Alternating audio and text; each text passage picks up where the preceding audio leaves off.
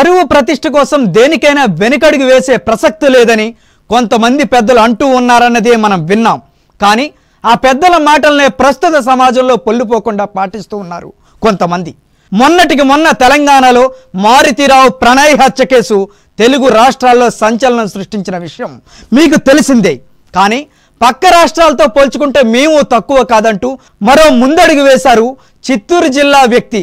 తన కూతుర్ని ప్రేమించాడనే కోపంతో ఏకంగా యువకుణ్ణి అతి కిరాతకంగా హత్య చేసిన ఘటన ఆ జిల్లాలో సంచలనం రేకెత్తించింది. ఇంతకే ఆ వ్యక్తి ఎవరు అనుకుంటున్నారా? అయితే చిత్తూరు జిల్లా పలమనేరుకు పోయి వద్దాం.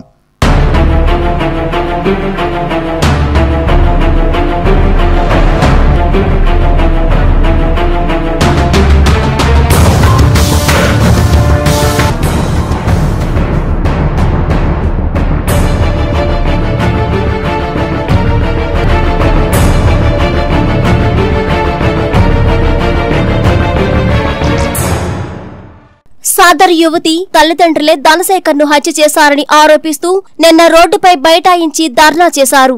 ఈ నేపథ్యంలో యువతి తండ్రిని అదుపులోకి తీసుకుని పోలీసులు విచారించగా ధనశేఖర్ను చంపిన విషయాన్ని యువతి తండ్రి ఒప్పుకున్నాడు.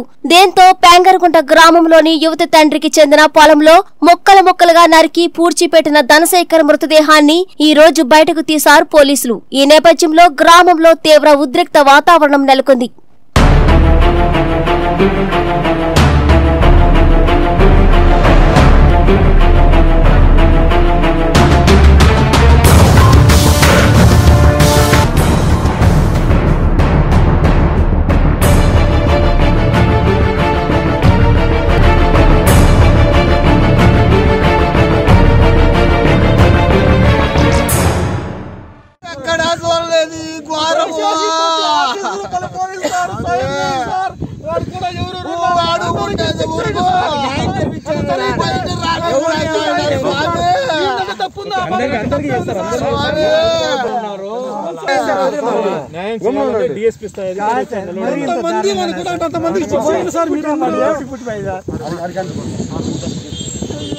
మీ వాడేనా?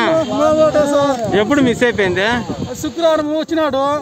శనివారం నాడు మడికోసినాడు శనివారం నైట్ పదిన్నరకు ఫోన్ చేసినారు. అంతే లాస్ట్ వాడు వచ్చింది. మళ్ళీ ఇంటికే రాలేదు. మళ్ళీ మేము సోమవారం కంప్లీట్ ఇచ్చినాము. మళ్ళీ కాల్ డేటా తీస్తే ఆ సంపేసిన కాల్ డేటా అని ఫస్ట్ వచ్చింది. వాడు ఇట్లా చంపేసినాడు అని కూడా ఒకడే ఉన్నాడు. చాలా మంది ఉంటారు వాళ్ళందరూ శిక్ష చేసే మాదిరి ప్రభుత్వం సహకరించాలి. ప్రభుత్వం సహకరించుకుంటే మేము ఎమ్మెల్యేని పట్టుకుని అడిగినా పోయిస్తాము. వికలాంగుడు. వాళ్ళ భార్య ఏమీ చేయలేని పరిస్థితిలో. వాళ్ళని సాకే వాళ్ళు లేరు. సాకుతాడిని బిడ్డ నా మాదిరి చేసేసినారు కదా. ఇప్పుడు వాళ్ళ పరిస్థితి ఏం సార్?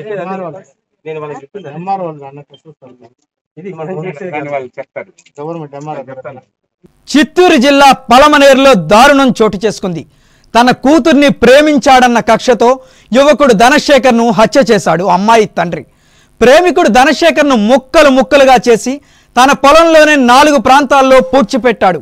శేఖర్ కనిపించకపోవడానికి ప్రేమ వ్యవహారమే కారణమని యువకుడు బంధువులు పోలీసుల్ని ఆశ్రయించారు.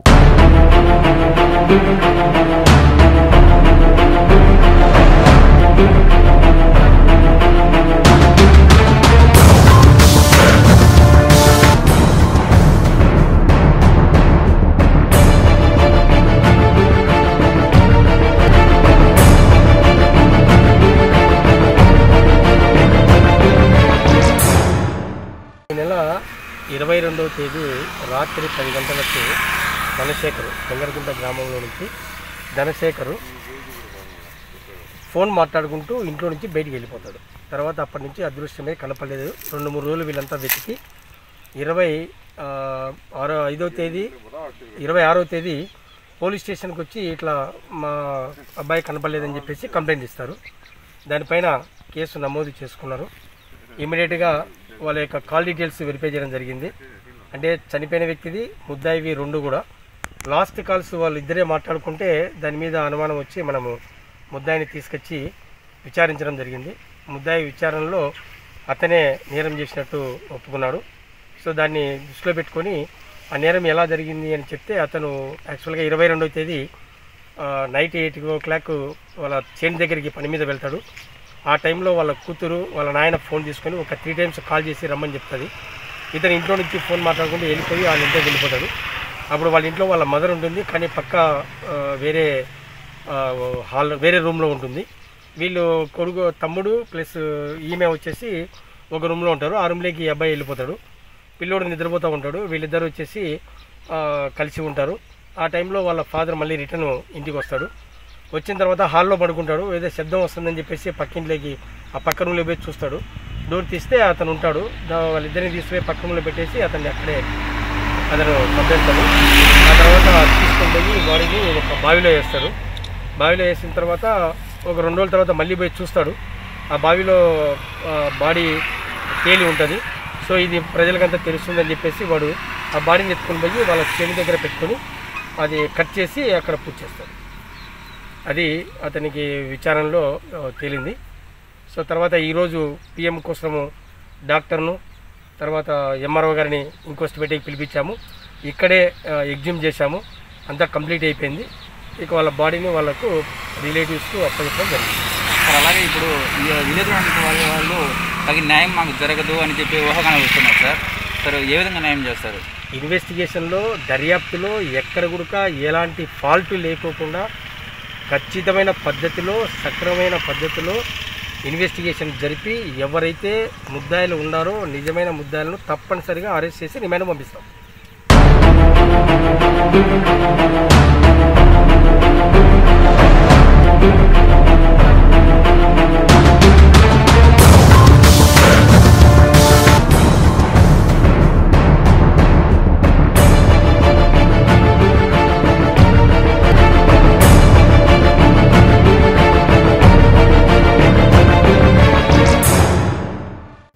ఉదయం లేవగానే సాధారణంగా అందరూ కప్ టీ తాగుతారు. కానీ ఈ వ్యక్తి మాత్రం రక్తాన్ని దాహంగా తాగుతాడు. పగలు లేదు రాత్రి లేదు. రోడ్లపైకి వచ్చిన వారిని దూరంగా ఉన్న లారీపై కన్నేస్తే ఆ లారీ టైర్ రక్తంతో తడాల్సిందే. దీంతో ఒక్కసారి సింహంలా విరుచుకుపడి ఆ లారీలో ఉన్న డ్రైవర్ని క్లీనర్ని ముక్కలు ముక్కలుగా నరికి వాడి ఆకలి దాహాన్ని తీర్చుకుంటాడు. ఈ మానవ వర్గం ఎవరా అనుకుంటున్నారా? ఇంతకీ ఈ పచ్చి నెత్తురు తాగే ఈ మానవ వర్గం గురించి తెలియాలంటే ఒక్కసారి ఈ స్టోరీ చూడాల్సిందే.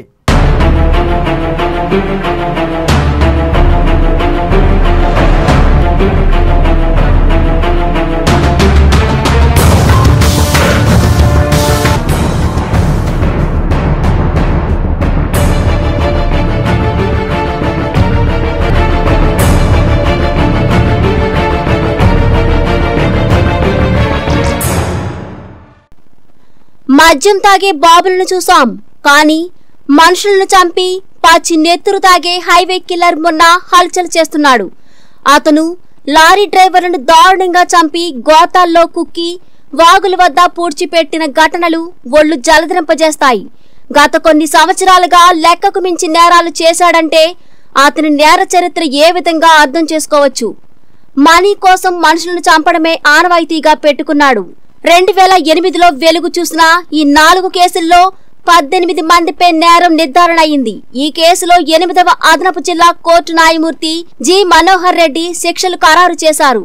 రెండు వేల ఎనిమిదిలో నేరాలు వెలుగులోకి వచ్చాయి. పశ్చిమ బెంగాల్ దుర్గాపూర్ నుంచి ఇరవై ఒకటి పాయింట్ ఏడు టన్నుల ఇనుపరాళ్ళతో తమిళనాడులోని కల్పకంకు బయలుదేరిన లారీతో పాటు డ్రైవర్ క్లీనర్ అదృశ్యమయ్యారంటూ రెండు వేల ఎనిమిది అక్టోబర్ పదిహేడున లారీ యజమాని వీరప్పన్ కుప్పస్వామి ఒంగోలు తాలూకా పోలీస్ స్టేషన్లో ఫిర్యాదు చేశారు. కేసు నమోదు చేసుకుని దర్యాప్తు ప్రారంభించిన పోలీసులకు విస్తుపోయే నిజాలు వెలుగులోకి వచ్చాయి. ఏంటి? హైవే రోడ్లను చూపిస్తున్నారు. హైవే రోడ్లపైకి వచ్చే లారీలను చూపిస్తున్నారు. మరో పక్క పచ్చి నెత్తురు త్రాగే మానవ మృగం అంటున్నారు. ఏమిటి ఈ కథ గురించి మీకు తెలియాలంటే ఒక్కసారి ఈ ఫోటోలు చూడండి. పాత ఇనుము వ్యాపారం చేసుకునే అబ్దుల్ సమద్ అలియాస్ మున్నాబాయి వ్యక్తిగతంగా సౌమ్యుడిగా కనిపించే మున్నా నేర చరిత్ర చూసి కేసు దర్యాప్తు చేస్తున్న అధికారులకు సైతం ముచ్చెమటలు పట్టించాయి. మొన్నా కోసం స్పెషల్ టీంలను ఏర్పాటు చేసి గాలింపు చేపట్టారు. పోలీస్ గాలింపును గమనించిన మున్నాబాయ్ పోలీసులకు దొరకకుండా అనేక రాష్ట్రాలు తిరుగుతూ దాదాపు ఇరవై సిమ్ కార్డ్స్ వరకు మారుస్తూ పోలీసుల ఓర్పును పరీక్షించాడు.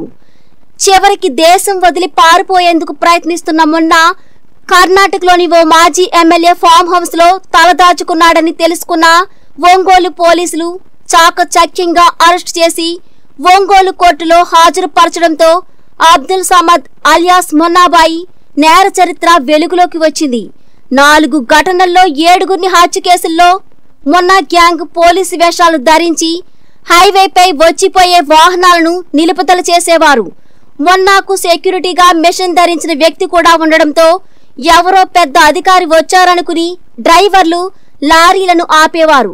గ్యాంగ్ సభ్యులు చెకింగ్ పేరుతో లారీలోకి డ్రైవర్లు క్లీనర్ల గొంతులకు తాడు బిగించి అతి కిరాతకంగా హతమార్చేవారని పోలీసుల విచారణలో వెల్లడైంది. ఒంగోలు పరిధిలో మొత్తం నాలుగు కేసుల్లో ఏడుగురిని హత్య చేసినట్లు నిరూపణ అయింది Tamil Nadu lorry driver Ramasekhar cleaner Perumal సుబ్రమణిలను Ulavapadu సమీపంలో హత్య చేసి అందులోని ఇరవై ఒకటి పాయింట్ ఏడు టన్నుల ఇనుమును గుంటూరులోని ఒక ప్రముఖ వ్యాపారికి విక్రయించారు. డ్రైవర్ క్లీనర్ శవాలను గోతాలలో కుక్కి మద్దిపాడు మండలం ఇనుమన మెల్లూరు గుండ్లకమ్మ వాగుగట్టలో పూడ్చిపెట్టారు. మరో ఘటనలో ఛత్తీస్గఢ్లోని రాయ్పూర్ బులా నుంచి కాంచీపురానికి ఇనుపలోడును తీసుకెళ్తుండగా తెట్టు వద్ద ఆపి డ్రైవర్ భూషణ్ యాదవ్ క్లీనర్ చందన్ కుమార్ మెహతోలను చంపి శవాలను మన్నేరు వాగు వద్ద పూడ్చిపెట్టారు.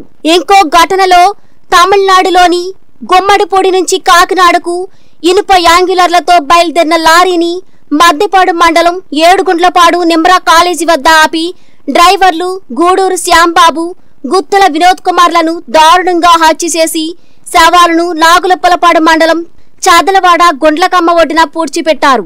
నాగాలాండ్కు చెందిన లారీని కూడా ఇదే విధంగా ఆపి డ్రైవర్ను హతమార్చి మద్దిపాడు మండలం ఇనుమనమెల్లూరు గ్రామంలోని గుండ్లకమ్మ ఒడ్డున చిల్ల చెట్లతో పూడ్చిపెట్టారు.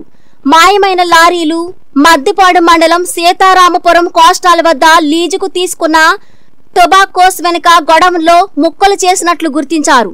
ముఠా నాయకుడు మొన్నాపై కడప నల్గొండ తెనాలి విజయవాడ బెంగుళూరు ప్రకాశం జిల్లాతో పాటు అనేక చోట్ల కేసులు నమోదయ్యాయి. నాలుగు ఘటనలలో ఏడుగురిని హతమార్చిన కేసులలో మొన్నాబాయ్ గ్యాంగ్ సభ్యులు పద్దెనిమిది మందిపై నేర నిరూపణ అవ్వడంతో ఒకటి నుంచి పన్నెండు వరకు ఉరిశిక్ష పదమూడు నుంచి పద్దెనిమిది వరకు యావజ్జీవ కారాగార శిక్ష ఖరారు చేసిన ఒంగోలు స్పెషల్ కోర్టు తీర్పు ఇచ్చింది. అతని పేరే Munna alias highway killer Munna. ఈ పేరు చెప్పగానే ఉలిక్కిపడ్డారా? మరి ఒంగోలు పరిస్థితి ఏంటి? ఇప్పటికీ లారీ డ్రైవర్లు క్లీనర్లు భయపడుతున్నారు అంటే ఈ కిల్లర్ నేర స్థాయి ఏ రేంజ్లో ఉందో అర్థం చేసుకోవచ్చు. లారీ డ్రైవర్లకు మున్నా చేసే క్రోర్ అగాయిత్యాలు కనిపిస్తూ వినిపిస్తూనే ఉన్నాయి. ఆ ప్రాంతంలోని జనమంతా ప్రాణాలను గుప్పెట్లో పెట్టుకుని బతుకుతున్నారు. ఈ హైవే కిల్లర్ మున్నా ఎక్కడున్నాడో తెలియాలంటే ఒక్కసారి ప్రకాశం జిల్లా ఒంగోలు పట్టణంలోని కోర్టుకు వెళ్ళొద్దాం. సార్ మీ అందరికీ కృతజ్ఞతలు తెలియజేస్తున్నాను. ఈరోజు ఈ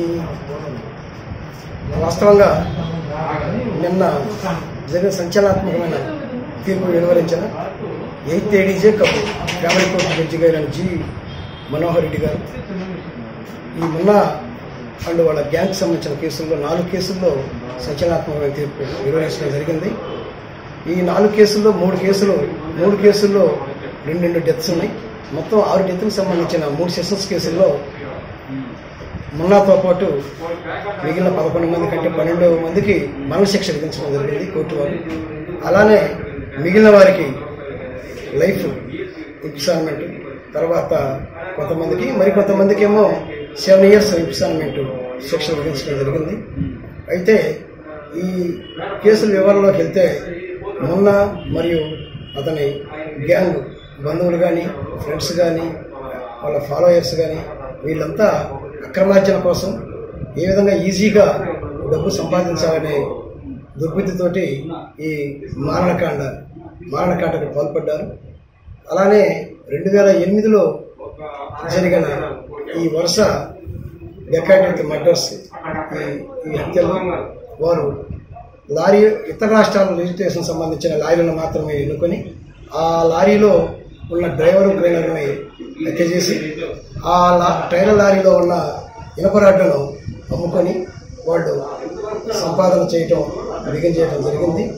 ఈ క్రమంలోనే నిన్న ఈ సంచలనాత్మకమైన నాలుగు కేసుల సంచలనాత్మకమైన తీర్పు వివరించడం జరిగింది. ఈ సంచలనాత్మకమైన తీర్పులో నేషనలే కాకుండా ఇంటర్నేషనల్ లెవెల్లోనే ఇది ఒక విశేషం చెప్పచ్చు. రాజీవ్ గాంధీ గారి హత్య కేసులో ఎనిమిది మందికి శిక్ష విధించడం జరిగింది. తర్వాత ఇదే హైయెస్ట్ డెత్ పెనాల్టీ కేసెస్ అని చెప్పుకోవచ్చు. పన్నెండు మందికి ఇవ్వటం అనేది సంచలనాత్మకమే ఈ కేసులో ఉన్న గ్రావిటీ సీరియస్నెస్ బట్టి ఇది ఈ ప్రాసిక్యూషన్ పూర్తిగా ఈ కేసుని నిరూపించగలిగింది. ఈ ప్రాసిక్యూషన్కి పోలీసు వారు ఎంతో వాళ్ళ సహాయ సహకారాలు అసిస్ట్ చేసి సహాయ సహకారాలు అందించున్నారు. ఈ విషయాలు మేము కోర్టు వారి దృష్టికి తీసుకెళ్ళటం కోర్టు వారు ప్రాసిక్యూషన్ వాదనలు నమ్మి ఈ శిక్షలు తీసుకుంది ఈ కేసులో ప్రథమంగా రెండు వేల ఎనిమిది ఆ టైంలో జరిగిన మూమెంట్లో ఈ ఫస్ట్ కేసుల్లో దామోదర్ డిఎస్పి ట్రైనింగ్ డిఎస్పి గారు అప్పుడు ఒంగోలు తాలూకు పోలీస్ స్టేషన్లో విధులు నిర్వహిస్తున్న క్రమంలో ఈ ఒక కేసు తమిళనాడు సంబంధించిన కేసు రిజిస్టర్ కావటం దాన్ని ఆయన దర్యాప్తులో భాగంగా టోల్ గేట్స్లో మీకు సంబంధించిన వివరాలను సేకరించి బొల్లపల్లి టోల్ గేటు కొన్ని చెక్ పోస్టులు ఈ లారీస్ ఎంటర్ అవటం తర్వాత టంగుటూరుకి అవి మళ్ళీ పాస్ కాకపోవటం వాళ్ళు ఈ సస్పెక్ట్ చేయడం జరిగింది. ఆ తర్వాత వచ్చిన ఐఓస్ అయిన శంకరెడ్డి గారు సిఐ గారు తాలూకా పోలీస్ స్టేషన్ సిఐ గారు ఆయన విధి నిర్వహణలో భాగంగా ఆయన ఎంక్వైరీలో కూడా అసలు ఎవరు ఏంది అన్న మూమెంట్లో మొన్న కొంతమంది అంచనకు ఏ- ఆ టైంలో పాత ఇన్ వ్యాపారం చేయటం ఒక ప్రైవేట్ టొబాకో గోడౌన్ని అక్కడ మా మద్దిపాడు మండలం సీతారాంపురంలో ఇద్దరు తీసుకోవడం అక్కడ బిజినెస్ చేస్తున్నట్టు తెలుసుకొని వాళ్ళు ఎక్కడున్నారని వాళ్ళ వివరాలని సేకరించగా మొన్న మరియు అతని అనుచరులు ఒక ఇద్దరు ముగ్గురు కలిసి బెంగళూరు ఒక ఎక్స్ ఎమ్మెల్సీ గెస్ట్ హౌస్లో ఉండటం దానికి కొంతమంది సిబ్బందిని నియమించి ఆటోని మరి మరి కొంతమందిని పంపించి వాళ్ళని పట్టుకొని తీసుకురావడం జరిగింది. తర్వాత వాళ్ళు పది పదకొండు రెండు వేల ఎనిమిది వాళ్ళు ఇచ్చిన వాంగ్మూలాలు కానీ మొన్న మరియు ఇతరులు ఇచ్చిన వాంగ్మూలంతో మొత్తం చూసి ఇన్వెస్టిగేట్ చేసి ఈ నాలుగు కేసులు మరి ఇంకా ఒక ఒక కేసు కూడా ఇది ఒక డ్రైవర్ సెంటర్ కేసు కూడా అది కూడా పెండింగ్ ఉంది. ఇవన్నీ వెలువట్టడం జరిగింది. కాబట్టి ఈ కేసుల్లో అప్పట్లో ఎస్పీ గారు నవీన్ చంద్ గారు తర్వాత ఆ తర్వాత ఆయన నేను వచ్చేసరికి శ్రీకాంత్ గారు ఎస్పీ గారు కానీ అలానే తర్వాత వచ్చిన త్రివిక్రమ గారు వీళ్ళందరూ ప్రాసిక్యూషన్కు బాగా సహకరించారు. ఆ తర్వాత వచ్చిన ఎస్పీస్ డిఎస్పీలు సిఐలు కూడా ఈ కేసులకు సహకరించున్నారు. అలానే ఈ కేసులో స్పెషల్ టీమ్గా వై శ్రీనివాసరావు ఉరఫ్ వాసు బి శ్రీనివాసరావు అని ఇద్దరు హెడ్ కానిస్టేబుల్ని రెండు వేల పన్నెండులో ఈ కేసుకు స్పెషల్ టీం కింద అపాయింట్ చేయటం. వాళ్ళు అప్పటి నుంచి ఇప్పటి వరకు ఈ ఈ కేసుల కోసం అవిరామంగా వాళ్ళు కృషి చేయటం ఈ కేసులో వాళ్ళు బాగా ప్రాసిక్యూషన్ చేయడం జరిగింది. నా ఆఫీసులో మా లైజన్ ఆఫీసర్స్ అయిన మాలకొండ అంతకుముందు పనిచేసిన రాఘవ తర్వాత కోటేశ్వర వీళ్ళు కూడా మాకు బాగా అసిస్ట్ చేశారు. తర్వాత నా దగ్గర ఉన్న హోమ్ గార్డు నాగేంద్ర ఇలా చాలామంది వాళ్ళ పేరు పేరున వాళ్ళందరికీ వాళ్ళ కృతజ్ఞత తెలియజేస్తున్నాం. ఇలాంటి బిగ్ సెన్సేషనల్ కేసులో ఇంత సంచలనాత్మక తీర్పు రావటం మనందరికీ గర్వకారణం. ఇది సమాజానికి ఇది ఒక మంచి మెసేజ్గా భావించాలని ఎందుకంటే ఇలాంటి ఆలోచన ఉన్న ఇంకా ఎవరన్నా ఉండి ఉంటే భవిష్యత్తులో ఇలాంటి చేయటానికి వాళ్ళకి వాళ్ళు కూడా భయపడేటట్టు ఈ ఇచ్చిన సంచారణ తీర్పు ఒక గుణపాఠంలాగా చెప్పచ్చు. కాబట్టి ఇంకా సిఐడి ఒక కేసు సిఐడి నెల్లూరులోకి వెళ్ళింది. ఒకే ఒంగోలు తాలూకు పోలీస్ స్టేషన్ అక్కడ కూడా రెడ్డి గారు ఛార్జ్ షీట్ ఫైల్ చేయడం అప్పట్లో శ్రీనివాస్ రెడ్డి గారు సిఐ గారు తర్వాత రావణ ఎస్ఐ వీళ్ళంతా తర్వాత అప్పట్లో హెడ్ కానిస్టేబుల్ భాష వీళ్ళంతా మోహన్ రావు రామకృష్ణ వీళ్ళంతా సహకరించారు. వాళ్ళందరూ కూడా పాపం ప్రాసిక్యూషన్కి వాళ్ళ డ్యూటీ ప్రకారంగా వాళ్ళు కూడా సహకరించి ఈ కేసు సక్సెస్ఫుల్ అవ్వడానికి దోహదపడ్డారని చెప్తాను మా ఆఫీస్ జూనియర్స్ కానీ అందరూ. కాయ్ రాజా కాయ్. ఒకటికి పది పదికి వంద ఆలస్యమైతే ఆశాభంగం అంటూ జోదర్లు మనీని ఆకర్షించే విధంగా ఎన్నో ఆఫర్లను ఇస్తూ జోదగాళ్ళు మారుమూల ప్రాంతాల్లో తమ వ్యాపార సామ్రాజ్యాన్ని విస్తరింపజేసేలా కాయ్ రాజా కాయ్ అంటూ కాసుల వర్షం కురిపిస్తూ దోచేస్తున్నారు బడా జోదగాలు. అయితే ఈ జోదగాళ్ళ గురించి తెలియాలంటే గుంటూరు జిల్లా నిజాంపట్నం సముద్ర తీర ప్రాంతాన్ని చూసొద్దాం. ఒక పక్క సముద్ర తీర ప్రాంతం మరో పక్క సముద్ర అలల సవ్వడులు. ఆహ్లాదకరమైన వాతావరణం. ఇవన్నీ ఒకెత్తైతే మరో పక్క డబ్బును ఎరచూపే విధంగా స్థావరాలు ఏర్పాటు చేసి చల్లని వాతావరణం కల్పించేందుకు ఏసీలు బిగించి జోదుగాళ్ళను ఆకర్షించే విధంగా కనక వర్షం కురిపిస్తున్నారు. గత కొన్ని నెలలుగా ఆ జోదుగాళ్ళు ఆడే ఆటకు అడ్డు చెప్పే నాదుడే కరువయ్యాడు. దీంతో వారి ఆట ఓ రాజు ఓ రాణిలాగా ఆట జోరుగా సాగింది. రాష్ట్రంలోని పలు జిల్లాల నుంచి పెద్ద ఎత్తున జ్యోతులు ఇక్కడికి రావడం లక్షల్లో రూపాయల నగదు చేతులు మారడంపై పెద్ద ఎత్తున విమర్శలు వ్యక్తమవుతున్నాయి. వీటిపై రాజకీయ నేతలు వెనకుండి నడిపిస్తున్నారన్న ఆరోపణలు లేకపోలేదు. అయితే ఈ తీర ప్రాంత జూదాలపై కాకీలు డేగకొన్ని వేసి నిఘా పెట్టారు. ఈ నిఘాలో ఆ కాకీలకు పలు ఆసక్తికరమైన విషయాలు వెలుగులోనికి వచ్చాయంటే అతిశయోక్తి కాదు. ఏపీలో ఆ జాతీయ రహదారి అంటే ప్రజల గుండెల్లో కార్లు పరిగెడుతున్నాయి. నిత్యం విశాఖ నుంచి విజయవాడ మధ్యలో తరచూ రోడ్డు ప్రమాదాలు చోటు చేసుకుంటున్నాయి. పదుల కొద్దీ ప్రమాదాలు జరుగుతున్నా ఎప్పటికీ వాటిపై చర్యలు తీసుకునే నాదుడే కరువయ్యాడు. దీని అంతటికీ అతివేగమే కారణమా? లేదా మరేమైనా కారణాలున్నాయా అనేది తెలియాల్సిందే. రాష్ట్ర ప్రభుత్వం ఎప్పటికప్పుడు అతివేగం ప్రమాదం అని హెచ్చరిస్తున్నా గాని వేగంతో సంబంధం లేకుండా ప్రయాణికులు వీటిని విస్మరించి అతివేగంగా ప్రయాణిస్తున్నారు. ఈ అతివేగం కారణం వల్ల కొంతమంది ప్రాణాలను బలి తీసుకుంటుంది ఈ రహదారి. దీనికి నిదర్శనంగానే పార్వతీపురం నుండి వివాహానికి బయలుదేరిన కారు కొయ్యలగూడెం వెళ్తుండగా రాజమండ్రికి అతి సమీపంలో గండేపల్లి వద్ద అతివేగం ప్రమాదకరమని ఒక వ్యాన్ డ్రైవర్ టైర్ మారుస్తుండగా ఇంతలో ఓవర్ స్పీడ్తో వెనక నుండి వస్తున్న మరో కారు టైర్ మారుస్తున్న వ్యక్తిని ఢీకొట్టడంతో ఆ కారు డివైడర్ దాటుకుని మరీ అవతలి రోడ్డుపై బోల్తా కొట్టి బెలూన్స్ ఓపెన్ అయ్యాయంటే ఆ డ్రైవర్ ఎంత స్పీడ్లో కారు డ్రైవ్ చేస్తున్నాడో అర్థం చేసుకోవచ్చు. ఇదంతా ఇలా ఉంటే విశాఖ జిల్లా యలమంచిలి మండలం పురుషోత్తపురం జాతీయ రహదారిపై స్కార్పియో వాహనాన్ని లారీ ఢీకొట్టిన ఘటనలో ఇద్దరు వ్యక్తులు మృతి చెందారు. ఈ ప్రమాదంలో విజయనగరం జిల్లా ఎస్ కోటకు చెందిన బి లక్ష్మి సంఘటనా స్థలంలోనే చనిపోగా డ్రైవర్ రాజు అనకాపల్లి ఎన్టీఆర్ హాస్పిటల్లో చికిత్స పొందుతూ మరణించాడు. కారు టైర్ మారుస్తుండగా వెనక నుండి లారీ ఢీకొనడంతో ఈ ప్రమాదం జరిగినట్లు తెలిపారు. మృతులిద్దరూ ఎస్కోట నుండి రాజమండ్రి బంధువుల ఇంటికి వెళుతుండగా ఈ ప్రమాదం జరిగిందని బాధితుల బంధువులు తెలిపారు.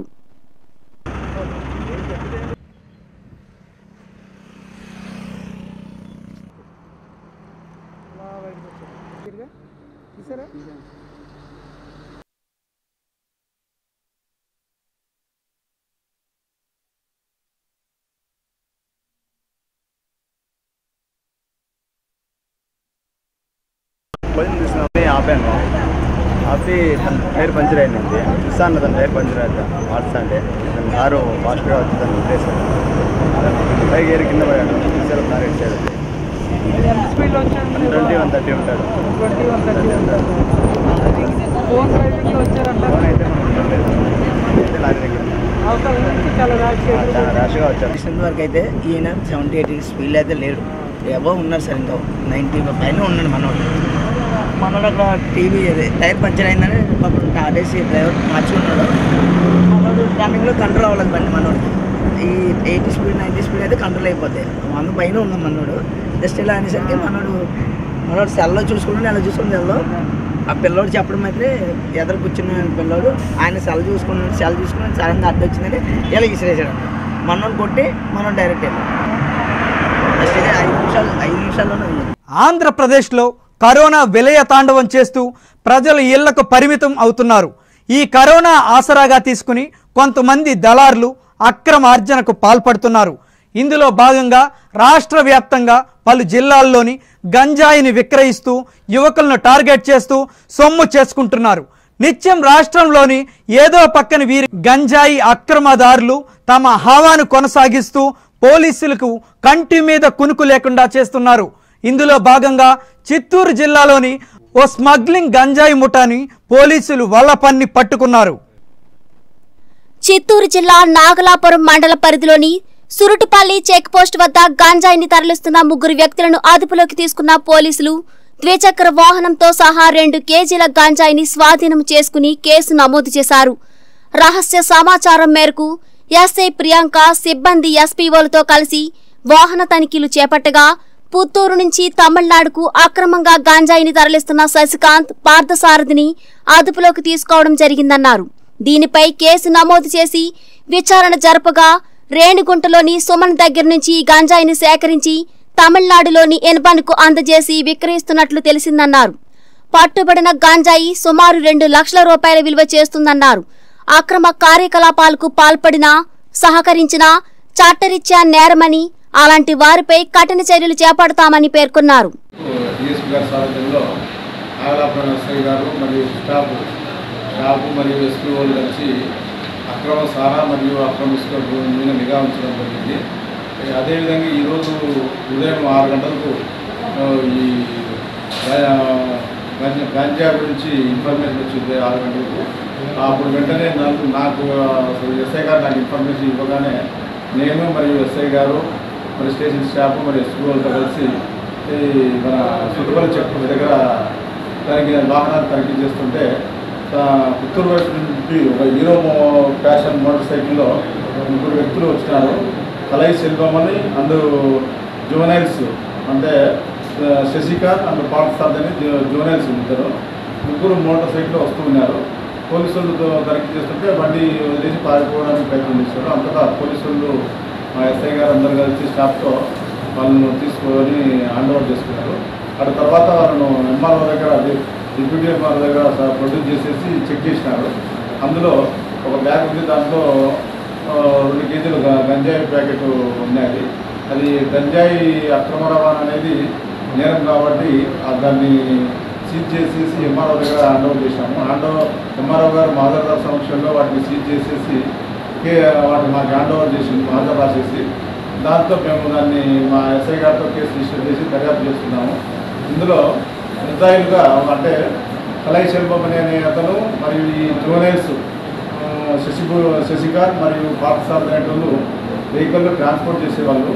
వీళ్ళకు రేణుగుంటకు చెందిన మన సుమన్ అనే వ్యక్తి సప్లై చేసే వ్యక్తి. అదేవిధంగా వీళ్ళు సుమన్ నుంచి అక్కడి నుంచి ప్రాపర్టీ గంజాయి తీసుకొని తమిళనాడు పోయేసి తమిళనాడులో రెడీస్ దగ్గర ఉండే అన్- ఇన్బా అనేటోనికి అక్కడ ఇచ్చినప్పుడు వాడు అక్కడ అమ్మడం జరుగుతుంది. ఈ విధంగా వీళ్ళు గ- గంజాయి వ్యాపారం అనేది చాలా రోజులు చేస్తున్నారు. ఈరోజు ఎస్ఐ గారి ఈ ఇన్ఫర్మేషన్ మేరకు ఈ గంజా రవాణా చేసే వ్యక్తులు పట్టుకోవడం జరిగింది. ఇప్పుడు ఇలాంటి నేరం అనేది చాలా సివియర్ సీరియస్ నేరాలు ఇవి. ఇటువంటి నేరాలు జరగకుండా మేము చాలా కఠినమైన బందోబస్తు ఏర్పాటు చేస్తున్నాము. సరైన ఇన్ఫర్మేషన్ పెట్టుకుని ఇంకా ఇలాంటి కేసులు పట్టాలని మా ఎస్ఐ గారికి మరియు మా స్టాఫ్కి ఇన్స్ట్రక్షన్స్ ఇవ్వడం జరిగింది. సముద్ర మార్గం గుండా ఇప్పటి వరకు మనం సరుకుల రవాణానే చూసాము కానీ ఇక్కడ సముద్ర మార్గంలో కూడా జల దొంగల్లా మారి అక్రమ మద్యాన్ని జల మార్గంలో తరలించుకుపోతున్నారు. కానీ ఆ మద్యం మత్తులో ఈ అక్రమ మద్య జల దొంగలు ప్రాంతాల వారీగా జలగల్లా పాకుకుపోతున్నారు ముఖ్యంగా ఆంధ్రప్రదేశ్లోని మారుమూల ప్రాంతాలైన పల్లెలపై కన్నేసిన దొంగలు మూడు నైంటీలు ఆరు క్వార్టర్లుగా మత్తెక్కిస్తున్నారు. ఇంతకీ ఇది ఎక్కడా అనుకుంటున్నారా? అయితే ప్రకాశం జిల్లా సముద్ర మార్గంలో ఉన్న అక్రమ మద్యాన్ని చూసొద్దాం. ఇదిగో మీరు ఇక్కడ మీకు చూపిస్తున్న విజువల్స్ చూడండి. సినిమా పక్కిలో సముద్ర మార్గం ద్వారా మద్యం రవాణా చేస్తున్న ముఠాగుట్టును శాప్ పోలీసులు రాట్టు చేశారు. పోలీసులను ముప్పు తిప్పలు పెట్టి సముద్ర నీళ్ళు తాగిస్తున్న మద్యం మాఫియాకి చుక్కలు చూపించే ప్రయత్నంగా పోలీసులు నిఘా పెట్టారు. కానీ ఆ నిఘాలో పోలీసులు కళ్ళు చెదిరేటువంటి మద్యం మాఫియాలు జలమార్గం గుండా అక్రమ మద్య రవాణా భాగోత్వం బయటపడింది. దీంతో రంగంలో దిగిన పోలీస్ యంత్రాంగం పలువురును అదుపులోకి తీసుకుని తమదైన శైలిలో విచారిస్తే అసలు గుట్టు రట్టయింది. ఇదంతా మనీ కోసమేనని తేలిపోయింది. ఆ కాకీలు తమ మెదడుకు పదును పెట్టి విచారణ మరింత వేగవంతం చేశారు. ఈ మద్యం మాఫియా ముఠ సముద్ర మార్గం నుండి తీసుకొచ్చిన మద్యాన్ని సొమ్ము చేసుకునేందుకు ప్రకాశం జిల్లా టంగుటూరు సమీపంలోని పదహారవ నెంబర్ జాతీయ రహదారిపై టోల్గేట్ వద్ద భారీ మద్యం ముఠాని అదుపులోకి తీసుకున్నారు. వీరి వద్ద నుండి ముప్పై లక్షలు విలువ చేసే పదహారు వందల ఇరవై ఏడు మద్యం బాటిల్ స్వాధీనం చేసుకున్నారు. ఈ సందర్భంగా ఒంగోల్ ఎన్ఫోర్స్మెంట్ సెప్ టాస్క్ ఫోర్స్ సిఐ తిరుపతయ్య మాట్లాడుతూ జిల్లా ఉన్నతాధికారుల ఆదేశాల మేరకు బెంగళూరు నుంచి నాగులపలపాడు మండలం కానపర్తి తరలిస్తున్న మద్యం బాటిల్స్ కంటైనర్ లారీని తనిఖీ చేయగా భారీ మొత్తంలో వెలుగులోకి వచ్చాయి. సింగరాయకొండ మండలం చాకిచర్ల వద్ద సముద్రంలో దాచిపెట్టిన మద్యం డంప్ను స్వాధీనం చేసుకున్నామన్నారు. మద్యం సరఫరాలో కీలక పాత్ర పోషించిన P Gopi V Srinivas V Phanindra K శంకర్ను arrest చేశాం. ఈ మద్యం సరఫరా ఎప్పటి నుంచి జరుగుతుంది? దీని సూత్రధారులు ఎవరు అనే కోణంలో విచారణ వేగవంతం చేశామన్నారు.